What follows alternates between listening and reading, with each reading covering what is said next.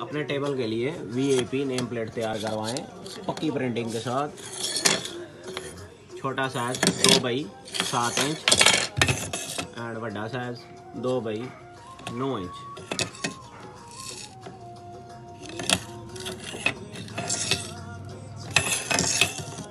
लेकिन सैंडल